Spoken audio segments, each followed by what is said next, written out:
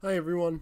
In this video from Count Backwards from 10, we're going to take a look at the factors that may predict difficulty in mask ventilation.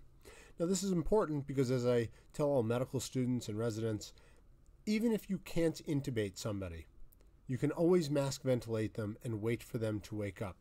But if you can't mask ventilate, then you're in trouble. Therefore, recognizing which patients could pose potential problems with mask ventilation uh, being able to identify them is extremely important in the world of anesthesia. There's really not going to be a lot of um, drawings in this. Uh, it's more so going to be just a brief list and discussion of a couple of topics and reasons for why they uh, pose an issue with mask ventilation. So, the first one we're going to look at is uh, BMI greater than 30. So patients with BMIs greater than 30 uh, have been found sometimes to have redundant oral tissue, large facial anatomy, which makes it difficult to maintain a proper CE grip on the jaw and a good seal, as well as proper mandibular protrusion uh, to open the airway, which we do. Next, Mallampati scores of 3 to 4 have also been implicated in difficult mask ventilations. Next, age over 57. And unfortunately, I've had a difficult time identifying why this is the case, but studies do demonstrate that it is a risk factor. Next, next limited jaw protrusion.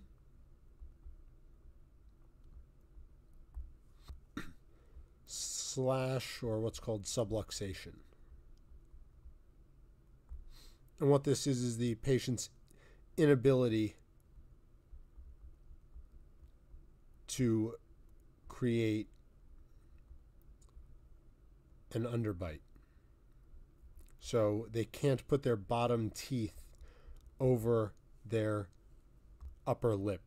And this may be linked to the inability to, again, open the airway adequately with a jaw lift once the patient's uh, airway relaxes and kind of the tongue and tissue fall backwards.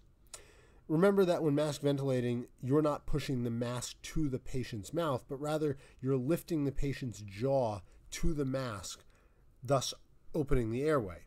So if the patient has poor jaw protrusion, then it makes it more difficult to open that airway and to move air. Next is snoring. Or patients with known sleep apnea.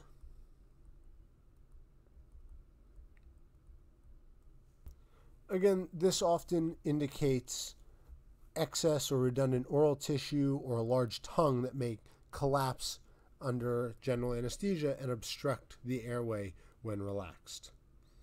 Uh, next is a beard. And anybody who's tried to mask ventilate a patient with a thick beard, you've probably seen this. And this is in part because it makes it very difficult to create a seal with the mask around the patient's airway. The hair creates a barrier between the mask and the skin through which air can escape, again, making mask ventilation significantly more difficult. And the last one I have for this list is no teeth or being edentulous. And with these patients, their gums may almost cause a suction effect, sealing the mouth almost closed when you attempt to ventilate them.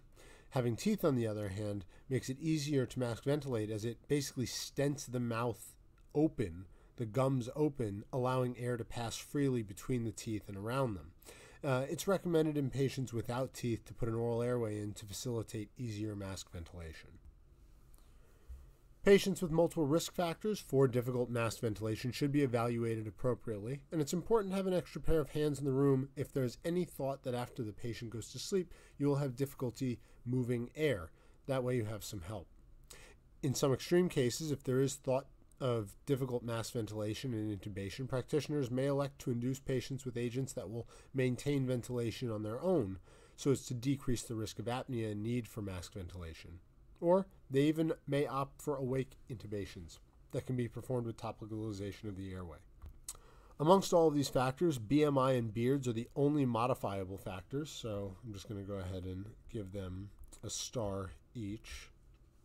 And it is recommended before patients go for surgery that they shave their beards if it's possible or lose weight prior to surgery so as to decrease their BMI.